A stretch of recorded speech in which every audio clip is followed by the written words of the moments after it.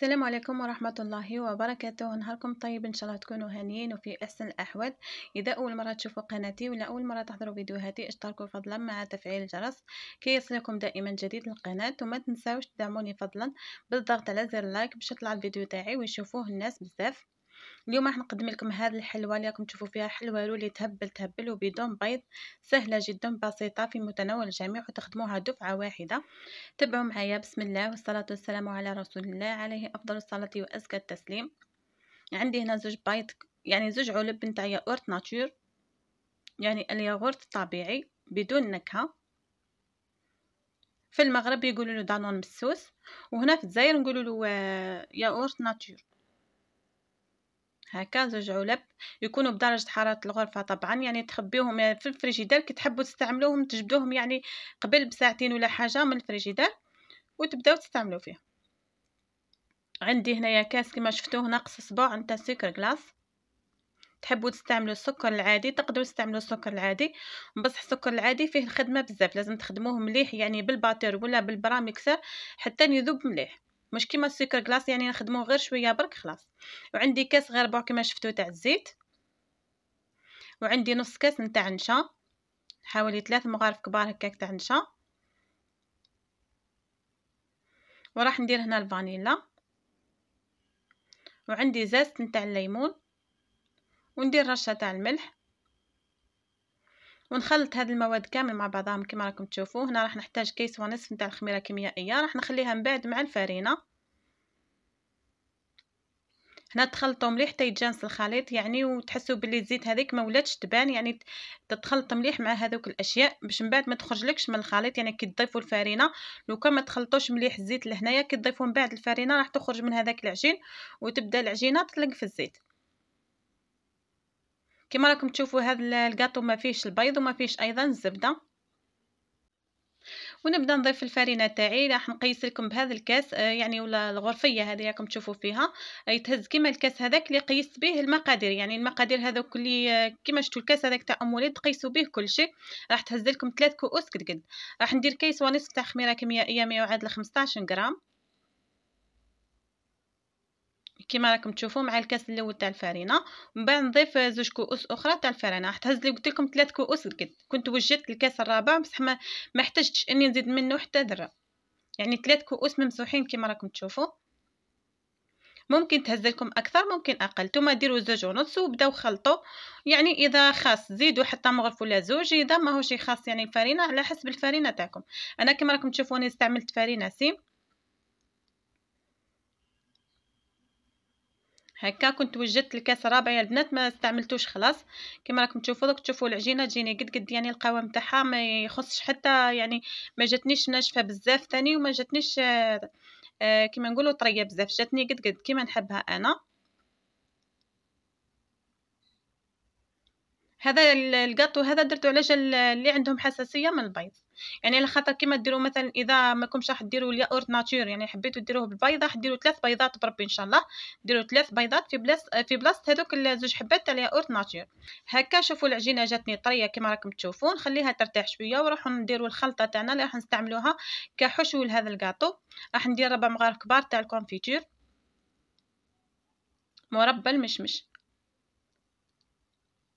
يعني ما يعادل هكاك نص علبة هذه الصغيرة هذه. ونزيد لها مغرف كبيرة نتاع الكاكاو البني هكا ونخلطوها مليح مليح. حتى يتجانس الخليط. نتحصلوا على خليط بنين بزاف ماهوش حلو بزاف وماهوش يعني مر على خاطركم تعرفوا ال confiture حلو بزاف. ويعني كي نزيدوا له هذا الكاكاو يعني نكاسيو شوية هذيك الحلاوة.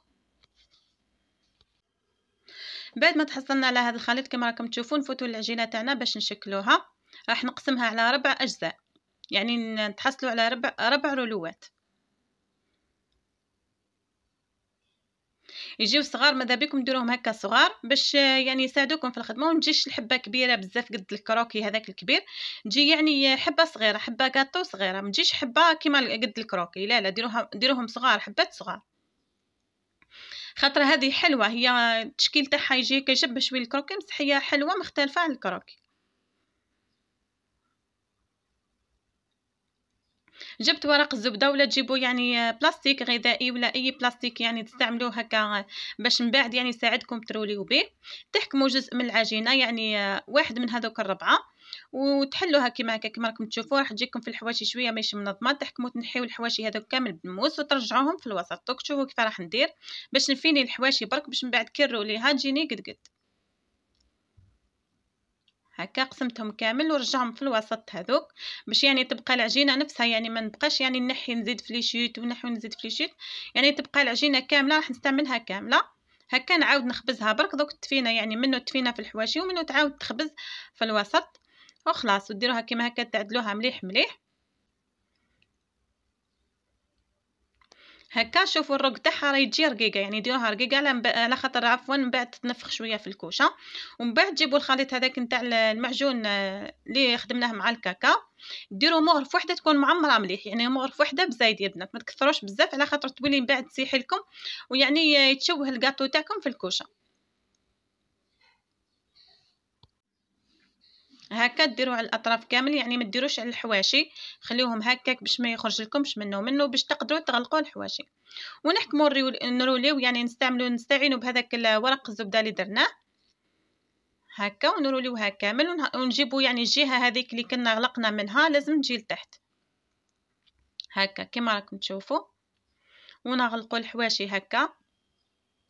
ونحطوها هكا كاملة كيما راكو تشوفوا نحطوها هكا في بلاطو تاع الكوشة اللي راح يدخل الكوشة. ونكملوهم كامل بنفس الطريقة كيما راكم تشوفوا هكا. يعني عملية بسيطة خلاص وسهلة جدا. هكا نحطوا الجهة المغلوقه نحطوها هي لتحت. دوك نزيد لكم وحدة على السريع يعني بسرعة هكا باش تشوفوا يعني الطريقة. هنا راح نمسح هذيك الشوكولا ولا هذاك ال confiture بطرشونة ولا بسربيات يعني تاع مناديل ورقية ولا كما تحبوا نتوما. مهم تمسحوها باش ما تشوه لكمش من بعد الحبة الثانية. ونزيد نعاودوا الحبة الثانية بنفس الطريقة. دوك تشوفوا كيفاه.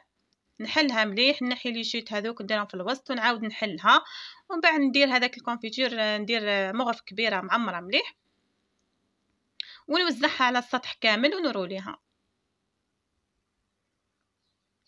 زدت لكم بالعاني يعني هكا آه، كما نقولوا حنا آه، وحدة أخرى على السريع هكا باش تفهموا مليح الطريقة وما تكثروش بزاف. قلت لكم ال confiture شوفوا ندير وحدة معمرة مليح presque يعني تكون معمرة مليح فقط ما ديروش بزاف.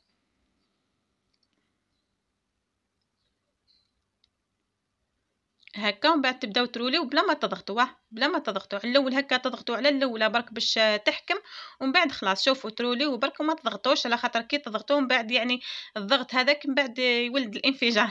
من بعد تنفجر في الكوشه ومن بعد راهم يتحلوا لكم شوية. دوك تشوفوا معايا مع الآخر يعني كيما كيما يطيبوا شوية يتشققوا بصح ماشي يعني يفسدوا لكم الشكل بزاف. واصلا حنايا شوفوا خليناهم بلا ما ندهنوهم بالبيض ولا حاجة باش من بعد مازلنا نديروا لهم الطبقة الأخيرة اللي تغطي كل شيء. باش ما تخافوش منه. شوفوا لو كان يدير لكم تشققات كيما هكا ما تخافوش. ولا كان شتو التشققات تاعكم كبار بزاف لموهم هكا لموهم يعني. حاولوا كيما يطيب هكاك وهو سخون يعني حكموهم بيدكم هكا لموهم شوية. باش من بعد يعني كي ديروا له هاو يبقى لكم طرف هذا تاع ال confiture اللي مع الكاكاو وتزيدوا له الكاوكاو هكا من الفوق. تحبوا كاوكاو ولا جوز الهند يعني الحاجة اللي تعجبكم ديروها.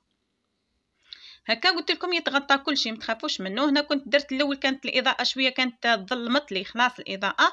على بها وليت فاصيت خلاص هذاك الجزء تاع كيما درت كيما قلاصيت هذاك ال boudin الأول هذاك. ودوك ندير لكم هذا تشوفوا كيفاش يعني هاني درت لكم هذا قدامكم تشوفوا كيفاش. دهنتهم كامل بهذاك ال confiture ودرت لهم الكاوكاو من الفوق محمص ومرحي. هكا وزيدوا على الحواشي كامل تغطيوه كامل من يعني تغطاو هذوك التشققات اللي كانوا تشكلوا هي لازم تتشقق شوية على خاطر عجينة مبسة وزاد ما فيهاش البيض ولا بياض البيض هذاك اللي يحكم لكم مليح العجينة. وما تنساوش خلاص الملح يا البنات في هذا الكاطو الحوايج اللي ما فيهمش البيض. وإنه تنساي منهم ملح يجيو ماصين ويجيو مسوسين لازم كديري هذيك رشه تاع الملح. راني نركز لكم على الملح مليح.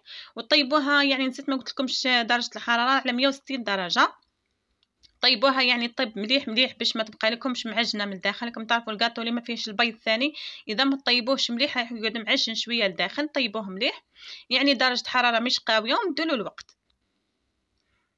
هكا شوفوا كي تقطعوه تحصلوا على هذا الشكل ما شاء الله يجي خفيف خفيف خفيف وهشيش ويجي بنين بزاف يعني هذا ال confiture مع الكاكاو يمدي لكم بنا ما شاء الله. نتمنى تكون عجبتكم هذه الوصفة وتسيوها. خليوا لي إعجاباتكم وتعليقاتكم الجميلة كالعادة وأنا نقول لكم خليت لكم الخير والسلام عليكم ورحمة الله وبركاته.